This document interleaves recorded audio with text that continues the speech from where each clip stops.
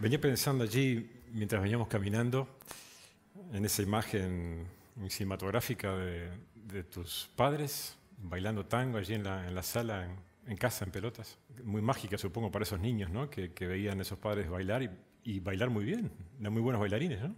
Sí, sí, muy buenos, sí. Y, y, es interesante porque en la, en la sala de la casa había que sacar los sillones y, ¿cómo se llama? La alfombra, ¿no?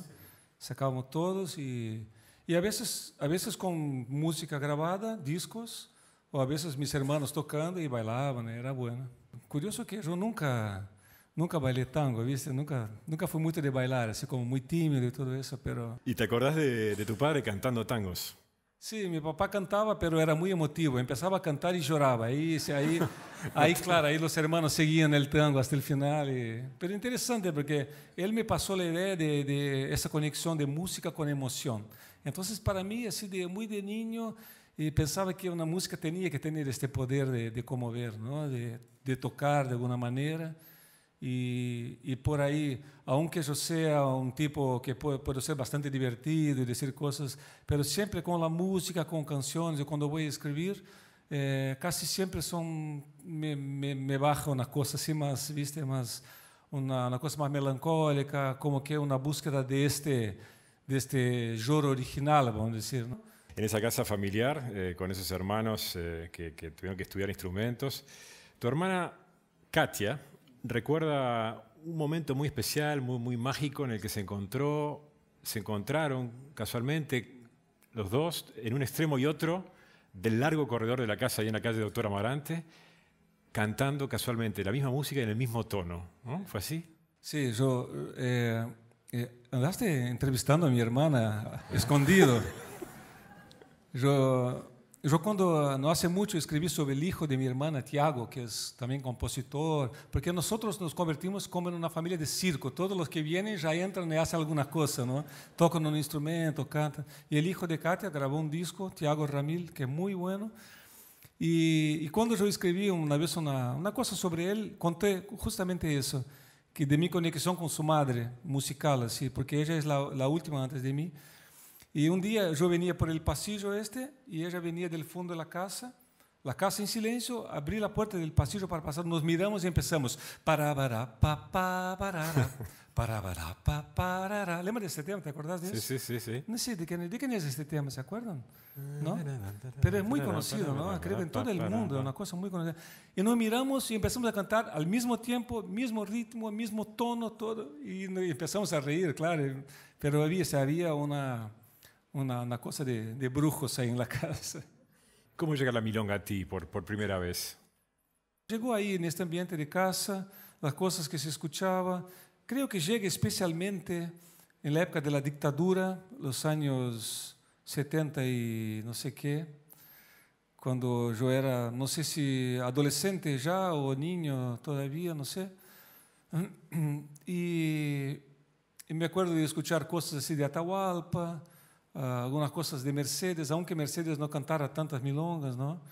E, e começaram também festivais regionalistas em minha, minha província. Meus irmãos tinham um grupo e tocavam milongas e outras coisas, e mesclavam com rock e coisas assim. Havia como uma fusão. E na época aí comecei a escutar. Elis Regina gravou Eu tenho tantos hermanos. Então, empezó a aparecer para mí este ritmo y siempre me gustaron las cosas eh, repetidas, ¿no? las cosas así, eh, que esa cosa que para mí tiene la milonga, este, un, un rigor, una cosa también de, repetición, esa cosa continuada. ¿no? ¿no? Por ejemplo, a mí me gusta Dylan, la gente siempre, oh, las letras de Dylan, a mí me gustan las músicas de Dylan porque se repetem muito, não? São sempre assim, pero ele, ele encontrou uma maneira de que não se repita, porque cada vez canta de uma maneira e, e a melodia para ele é uma coisa um pouco, não? no tiene tanta preocupación con eso, pero me gusta las repeticiones, que vuelvan al estribillo y que aquello, eso se repita, pero que cuando se repite cada vez vuelva como que más grande, más interesante, más profundizada, no como una cosa molesta, uh, que volvió al estribillo, ¿no? Y la milonga para mí tenía eso, como un, un mergulho, no se dice eh, sí, eh, sumergirse, sumergirse en algo, ¿no? Es un poco así, como leer un poema así y te vas, ¿no?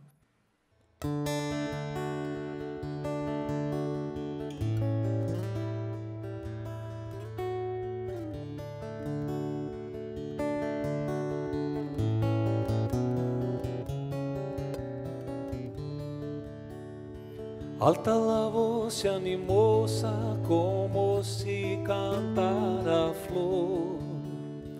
Hoy caballeros le canto a la gente de color. Marfil negro lo llamaban los ingleses y holandeses que aquí los desembarcaron al cabo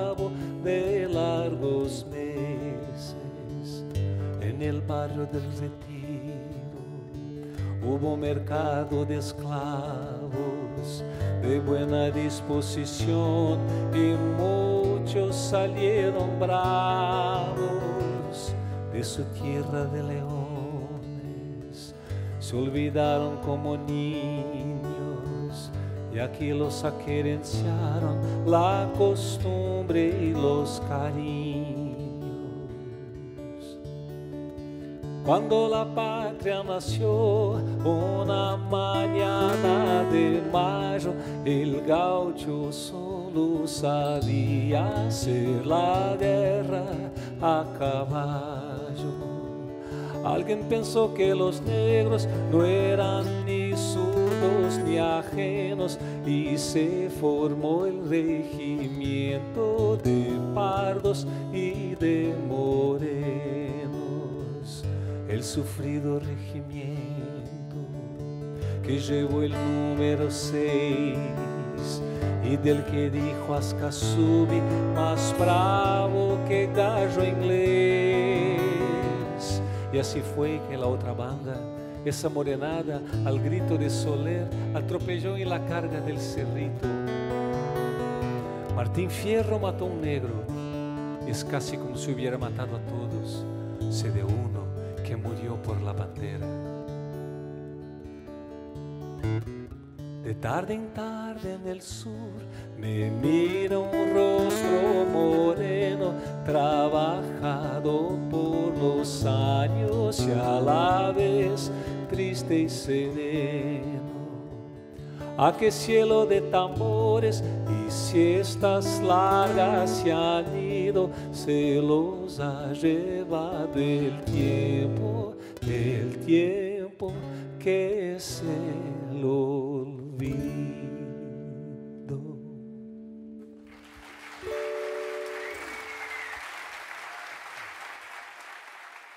Tu primera milonga fue Semeadura. Sí, semeadura. Eh, la que- que- Siembra, ¿no? que después grabó Siembra. Mercedes. eh. Y yo justamente la compuse porque estaba como fascinado por Mercedes, ¿no? con su voz, todo, todo eso.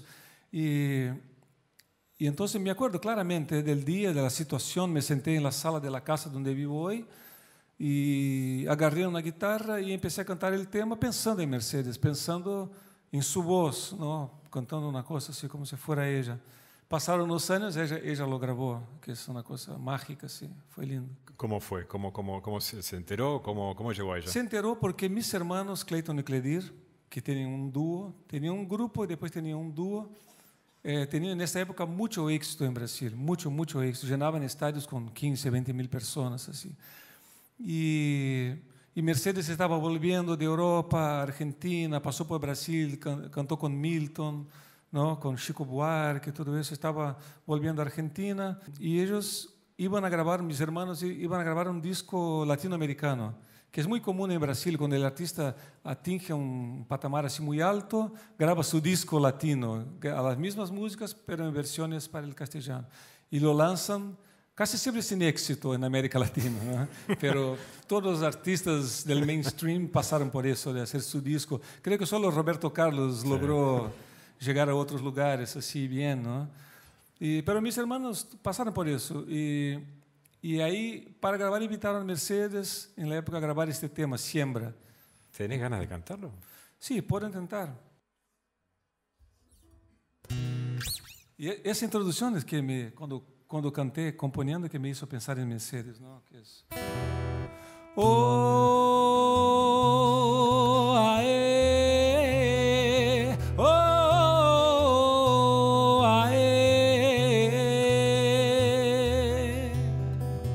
Nós vamos prosseguir, companheiro, medo não há.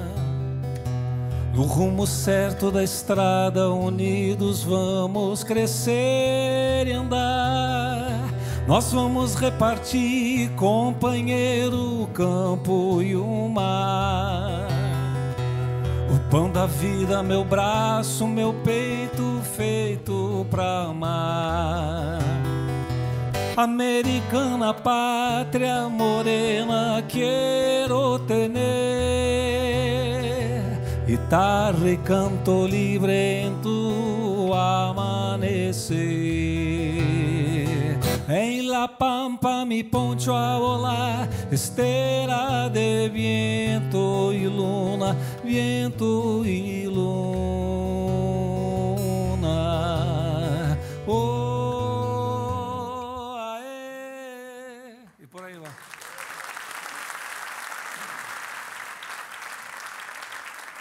Para vos, para, para que la, la milonga viva, es, es necesario que, que dialogue con la, con la modernidad, ¿no? Sí, cualquier cosa me parece, ¿no? Hablan mucho, por ejemplo, de la tradición, ¿no? De la cosa de la tradición y la milonga a veces, infelizmente, se mete en este, este lugar que eso, en Brasil pasaba mucho eso, hoy ya no pasa tanto, que no, eso es de la tradición, no pueden ponerle instrumentos eléctricos, no pueden no sé qué, no puede eso, como si fuera un objeto de culto. Y si una cosa se pone así, muere, ¿no? Desaparece. Una tradición hay que ser una cosa viva, hay que estar ahí siempre eh, siendo como renovada. Senão, senão na, verdade, nem chega a ser tradição, não? Porque não se impõe com o tempo. Me parece que é assim.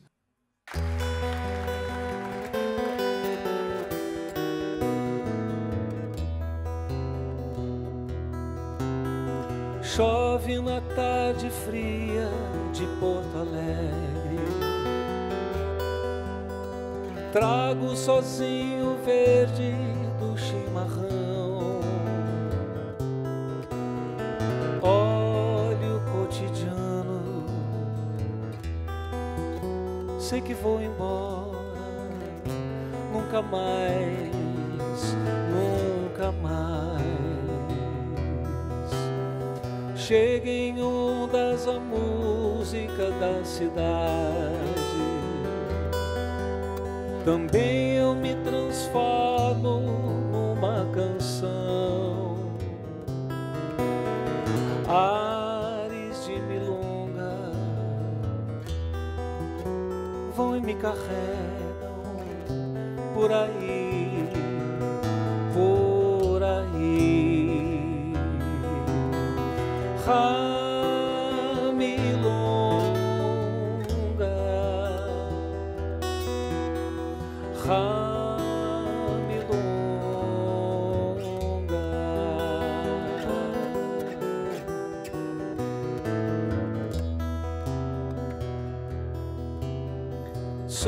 Sobrevoo os telhados da bela vista na chácara das pedras vou me perder. Noites no Rio Branco, tardes no Bonfim, nunca mais, nunca mais. O trânsito em transe intenso antecipa a noite riscando estrelas no bronze do temporal. Ares de milonga vão e me carregam por aí,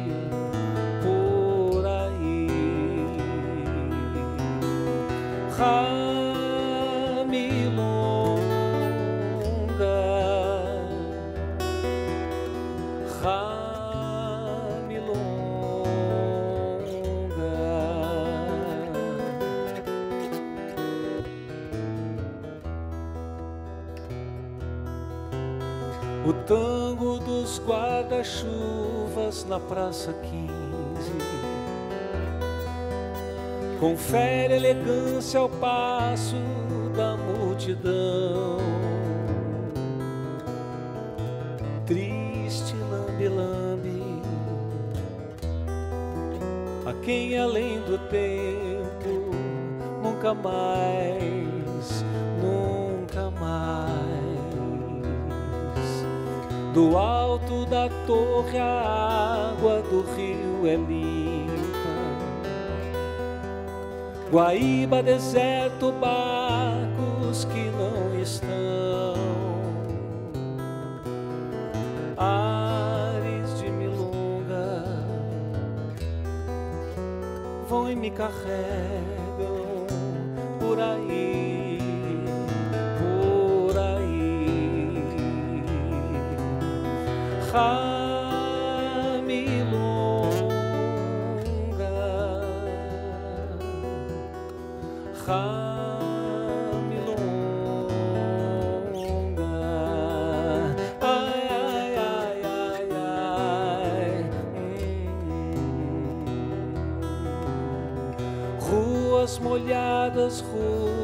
Da flor lilás. Ruas de um anarquista noturno, ruas do Armando, ruas do Quintana, nunca mais, nunca mais. Do bronze eu vou pra cidade baixa. Depois as estradas, praias e morros, ares de milonga vão e me carregam por aí,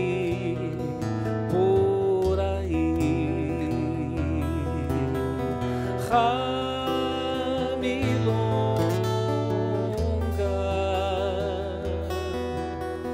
Ramilonga, ai, ai, ai. Hum. Vaga visão, viajo e antevejo a inveja de quem descobrir a forma com que me fui. Ares de milonga sobre Porto Alegre, nada mais, nada mais.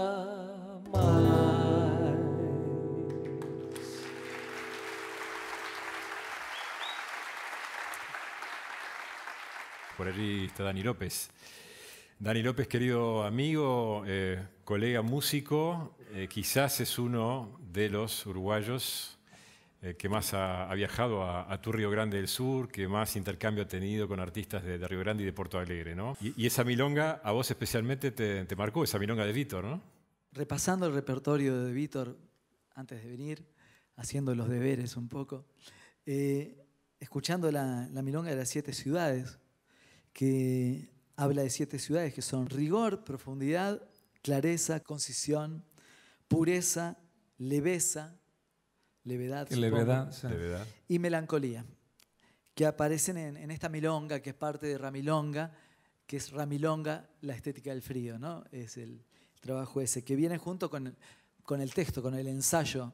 Se me ocurría pensar, tenemos un Víctor compositor, tenemos un Víctor que es al mismo tiempo escritor, es, es ensayista, ¿no? Eh, en la estética del frío, en la Satolepi, eh, bueno, también es escritor de ficción, ¿no ¿verdad? Bueno, ¿cómo se vinculan el escritor Víctor Ramil con el compositor Víctor Ramil? En mi casa, la gente achava que eu ia ser escritor. Antes de. Todos tocávamos, eu também. Pasa que quando chegamos ao, sexto hijo, já não, já não importa tanto, ¿viste? Mis padres já não eram tão exigentes, não, vai estudar música. Então eu comecei a los 11 anos a estudar. Claro que hasta los 11 já estava estudando com mis hermanos aí em casa. Então cheguei para a primeira classe e talvez eh, supiera mais que mi enseñante naquele momento, não? Entonces já sabia bastante com essa idade, la, tocar a guitarra e tocar alguns temas de outros, esse tipo de coisa. Pero también escribía. A los, a los 12 años gané un concurso de cuento en Brasil. El, el premio era justamente ir a, a Salvador, de Bahia, para, porque era alguma coisa ligada com o chocolate, cacau, Jorge Amado, coisa assim. E, e nunca me, me olvidei de que en- quando eu bajo no aer- aeropuerto encontro com Caetano Veloso, Gal Costa, Caetano com seu hijo Moreno, chiquito el colo, e eu era muito fanático, pe- pero tinha 12 anos, não? E fui aí, le pedi um autógrafo. Agora, só para ser uma história curiosa, passaram muitos anos quando ele gravou comigo, não, não, não lo conhecia personalmente. Le dije, mira, Caetano, olá, é a segunda vez que hablamos. A primeira vez eu tinha 12 anos. e ele, não, claro, não tinha ni ideia, não? Y, pero eso siempre estuvo así como mezclado para mí, ¿viste? escribir, tocar. Entonces, primero empecé a escribir en la escuela, cosas así. Después era muy fuerte la música, empecé a tocar. Cuando estoy en Río, ya tenía 24 años, estaba grabando mi tercer vinilo en la época. Y, y con- me acuerdo claramente cuando mi disco se fue para la fabricación que pensé, me voy a quedar un mes ahora esperando, ¿qué hago?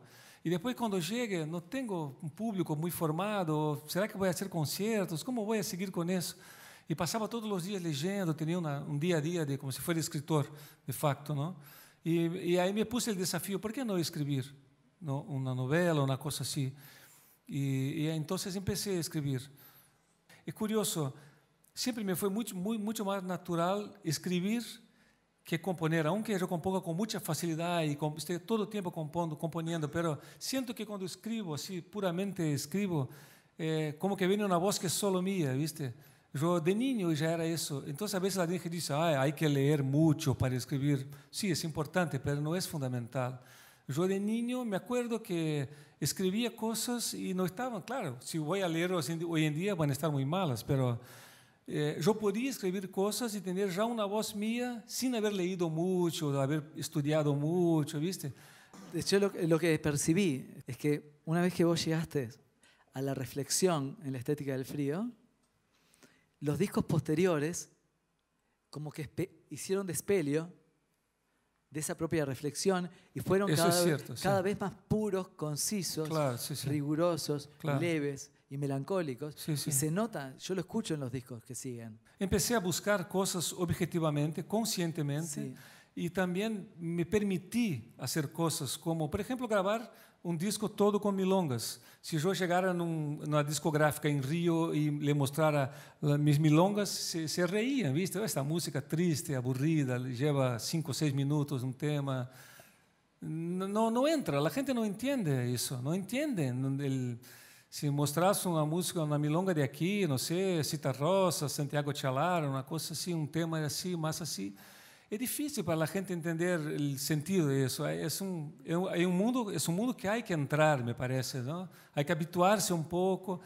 E, e eu, eu desejava muito que essa musicalidade se mesclara com todas as outras influências brasileiras e mundiais e, e que isso generara algo e que a gente fuera natural escuchar isso. E hoje em dia é, muito interessante. Às vezes me vou ao nordeste de Brasil e toco coisas, às vezes milongas, habladas todas num dialeto gaúcho e a gente le gusta e se emocionam, se comovem e não estou entendendo uma palavra.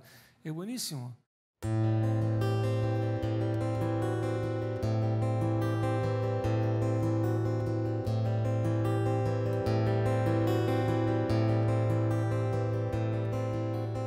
Noite de São João, noite de São João, para além do muro do meu quintal. Noite de São João, noite de São João, para além do muro do meu quintal do lado de cá, eu, do lado de cá, eu, de São João.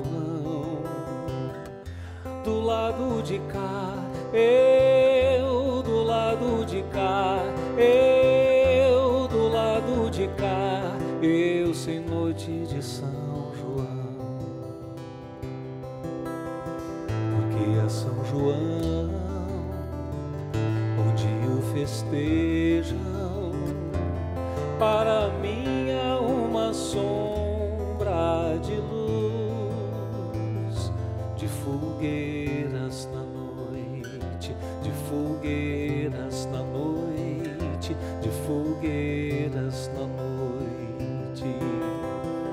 Um ruído de gargalhadas, os baques dos saltos e um grito casual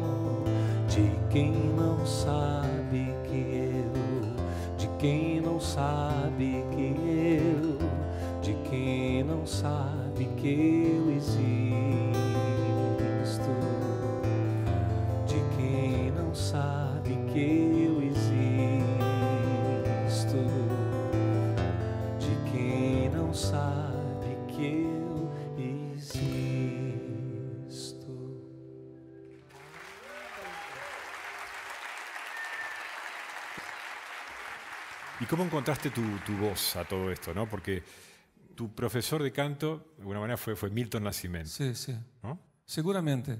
Porque yo cuando, ahí cuando tenía 13 años, por ahí escuché este disco Minas, ese que pusiste un- un- una partecita ahí, ahora en la, en la introducción. Eh, yo cuando escuché a Milton me impresionó mucho su voz, ¿no? Tenía una- esa voz. Ahora grabé con él no, no hace mucho tiempo, el- mi último disco, y, y siguió me impresionando. Y Milton eh, ya está con 70 y, y- picos de años y tiene una voz, canta el micrófono aquí así, y canta aquí, canta de lejos del micrófono y la voz le sale por todo el cuerpo, ¿viste? no se sabe por dónde sale esa voz increíble, lindísima. Y cuando lo escuchaba me impactó mucho. Entonces yo escuchaba, iba para el pasillo este donde crucé con mi hermana, me sentaba ahí y empezaba a cantar, a reproducir su sonido. Hasta que un día me, me agarró una cosa en la voz que naturalmente yo, eh, não sei como se diz em castelhano, em português é impostar a voz, como se coloca a voz, igual. pouco, el canto lírico, quando, quando mm. aprendes a colocar a voz, porque se cantar sempre assim com a garganta, como viste, eh, destruís a garganta, destruís as cordas vocais e tudo isso. Então, há que de alguma maneira saber poner a voz. Claro, não há que cantar como Pavarotti, pero saber poner a voz, dosarlo, não? Quando quando cantar. E com Milton aprendi isso, que havia uma maneira de de pôr a voz. Y fue increíble porque aprendí a colocar la voz, pero también pasé muchos años intentando eh, librarme de él, no podía, porque, claro, quedó como, un- como una sombra, sí, ¿no? para mí. Mi prim- primer disco, si escuchas Sí, mi primer disco, es sí. un disco de un discípulo de Milton, sí, ridículo, ¿no? Pero está bien. Y- claro. Era un buen maestro, por lo menos. Si hoy escucho mis discos, mis primeros discos son fríos, mi canto puede estar afinadísimo, la voz puesta así bien, pero no pasó nada, no, no, hay, no hay sentimiento. Estaba preocupado con la emisión que probablemente de cantar, ¿no? Y eso me demoró mucho, me costó mucho, muchos años. Después, cuando grabo Ramilonga, eh, eh, me fui a más a las lecciones de João Gilberto y Caetano Veloso de cantar suave, porque me pareció que era una cosa importante con eso de romper con los estereotipos de- del canto gaucho, que era no cantar de esa manera fuerte, impostada, estos temas más regionales, sino cantarlos como quien agarra una guitarra y canta, no sé, Yesterday, cantas en tu casa así. ¿Por qué no cantar un tema regional así? Y hay- no hay que ser, un, en este momento, vestir un, un personaje, ¿no?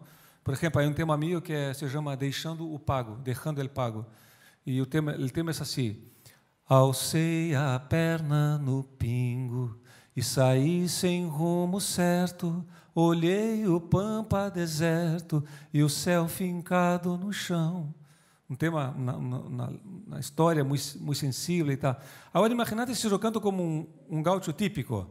Alcei a perna no pingo, pararei, pa. Tá bem, é um gaúcho cantando, é um personagem, ¿viste? não é esse aquele cantante ali Se que canta- está, canta está así. passando muita coisa. Campos Neutrales se llama ese disco que está, que está allí todavía para, pronto para salir, el décimo primero. El primero que grabaste en, en Río Grande, curiosamente, ¿no? Ya que pudiste grabar allí y del que estás más eh, contento, satisfecho, que, que además te, te has dicho, has adelantado que, que te ha emo- emocionado muy especialmente las canciones que, que allí encontraste, Sí, que, sí. que creaste, ¿no? Sí, es un disco, para mí es lo mejor que hice, que pude hacer, ¿no? Bueno, está bueno envejecer y poder hacerlo mejor, ¿no? Es, es una buena sensación, pero yo siempre, creo que siempre invertí mucho en la viejez. En, en- en envejecer, en el buen sentido, ¿no? Porque sabía, yo sabía que ciertas cosas yo tendría que vivir para hacerlas. Y este disco para mí es una síntesis un poco de este pensamiento. Sí. Eh, te hablo también en eso en el sentido de la realización en sí misma, la producción. ¿Sabes? Cuando imaginas una cosa y esa cosa ocurre, pasa, pero porque la hiciste con, la planeaste bien, ya tenés experiencias malas con otros proyectos y todo eso. Eh, la parte de, de composiciones eh, ya me siento como muy cómodo en mi mundo, viste, armónico, mi manera de tocar. Cuando hablamos de eso de estar al norte de, de los países del Plata o al sur de Brasil, si miras, por ejemplo, la manera como toco estos temas, especialmente de campos neutrales, hay muchos arpegios y cosas contrapuntísticas que son más del mundo de la guitarra argentina y uruguaya que de la guitarra brasileña, que es más de acordes, de João Gilberto, chum, chum, chum, chum, chum. Entonces, tiene esa, esa, esa cosa armónica, pero eso tocado con arpegios y afinaciones invertidas, entonces es una cosa toda rara, ¿no? Y allí también está eh, tu, tu, pasión o tu interés por la historia, por tus lecturas, por tu región. El título ya dice mucho, ¿no? Cap sí. Campos neutrales. Sí. ¿no? No sé cómo eso es aquí en Uruguay. ¿Se habla de eso no? De los campos neutrales? No Poco, mucho, ¿no? No mucho. También en, en Rio Grande do Sul no se habla mucho, pero en el Tratado de Santo Ildefonso, Ildefonso, nunca sé bien, Ildefonso. en 1777, eh, España y Portugal decidieron tener una zona neutra que cortaba todo el estado, toda la provincia de Rio Grande do Sul en el sentido sudoeste. Y era una larga una cinta así de tierra. Los, ríos, los ríos que corrían para después llegar al, al Río de la Plata subían, todos de, de ahí para acá era de España. Y de los ríos que corrían para el mar, de ahí para acá era de Portugal. En el medio de esas nacentes, todo era neutro. Entonces ahí, si un esclavo se huía de, un, de, una, de una, estancia, de una hacienda, ahí no, nadie, podía buscarlo, estaba libre. Eh, y, y, indios, eh, negros, eh, paulistas que bajavam para conquistar o sur, no? Eh, uruguaios e argentinos, gente, não era ainda uruguaios e argentinos, eram espanhóis daqui que se iam. Se formou aí uma sociedade improvisada nesse lugar onde não havia poder. Uma, e todas as sociedades mais improvisadas são muito criativas e miscigenadas e, isso quedou. Eh, depois se terminou. El, os campos neutrales terminaram, mas se quedou no imaginário essa ideia deste lugar Claro que a história tratou de deixá-lo mais lindo do que foi, talvez? Pero havia muito contrabando, por exemplo, nesta zona. Os, os tipos uh, levavam coisas de aí para cá e quedavam aí, não havia lei, não havia nada. Não? Y me pareció muy significativo en este momento, ¿no? De, de, nuestra historia también, que estamos viviendo un, un, periodo de xenofobia, de odios, todos se odian en el mundo, las fronteras, todos se odian, nadie quiere recibir el, el otro de otro país y cosas así. ¿no? Me pareció que sería pertinente en ese momento este tema y también eso de tener un disco con mucha gente, muchos lenguajes, ¿no? muchas cosas, muchos ataques. Ese es la, la, el concepto. E aí, bueno, hicimos um disco com um, alguns músicos argentinos, Moscardini e Santiago Vázquez. Basicamente, Santiago Vázquez Moscardini está em um tema e um quinteto de vientos de Porto Alegre e Chico César e Seca vieram para gravar. Hay una, una mezcla muy, muy interesante en este disco y me gusta mucho cómo, cómo quedó.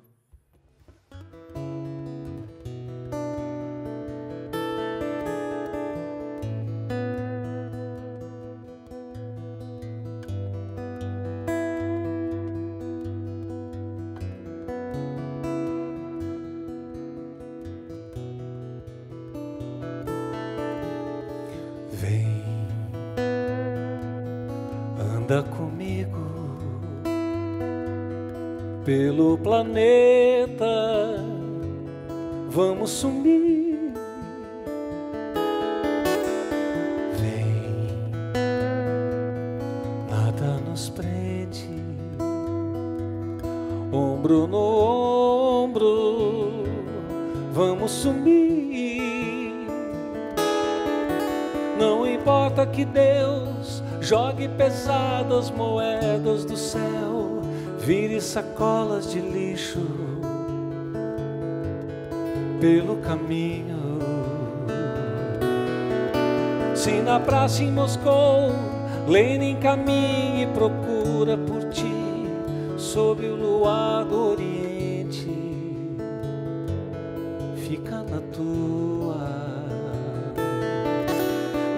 importam vitórias, grandes derrotas, bilhões de fuzis, aço e perfume dos mísseis nos teus sapatos. Os chineses e os negros lotam navios e decoram canções, fumam rachixe na esquina, fica na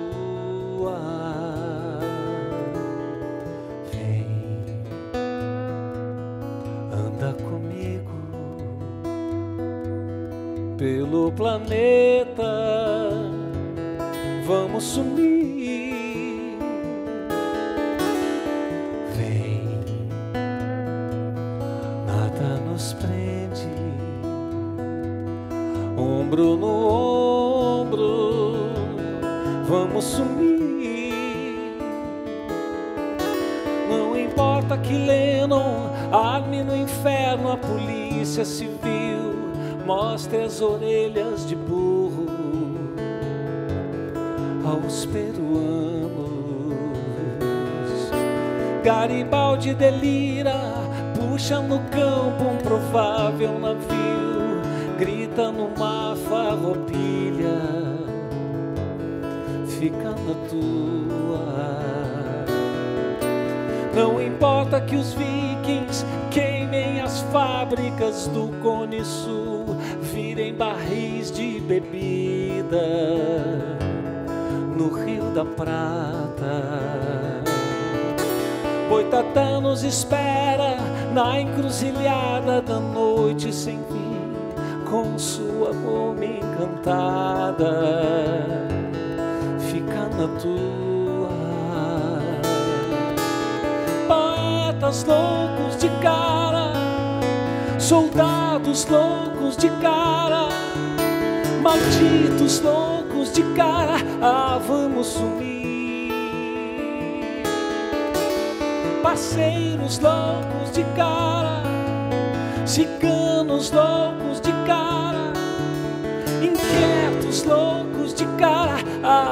ah, vamos sumir. Oh, vem, anda comigo pelo planeta, vamos sumir. Vem, nada nos prende,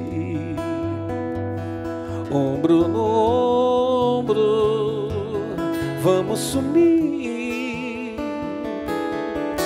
Se um dia qualquer tudo pulsar num imenso vazio, coisas saindo do nada, indo pro nada. Se mais nada existir, mesmo que sempre chamamos real, isso pra ti for tão claro que nem percebas. Se um dia qualquer ter lucidez for o mesmo que andar e não notares que andas o tempo inteiro, é sinal que valeu. Pega carona no carro que vem. Se ele não vem, não importa fica na tua. Videntes loucos de cara, descrentes loucos de cara, pirados loucos de cara, ah, vamos sumir. Latinos, deuses, gênios, santos, podres, ateus, imundos e limpos. Moleques loucos de cara, ah, vamos sumir.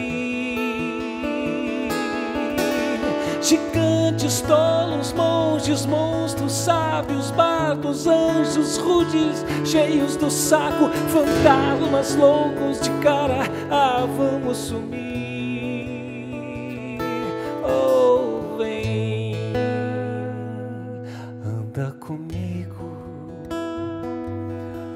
Pelo planeta. Vamos sumir.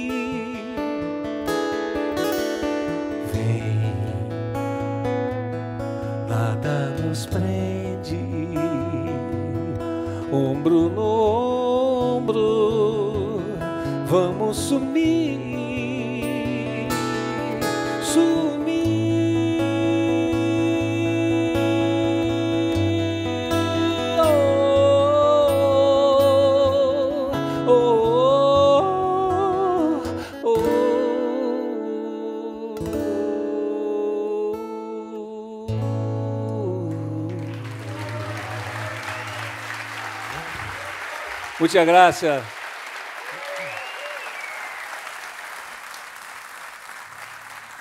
Y este es mi cuaderno de apuntes y yo quiero decirte que eh, en estas semanas mi cuaderno de apuntes escucho decir muchas cosas de ti. Que sos una persona transparente, frágil, sentimental, que nada en ti es postura y que sos muy accesible.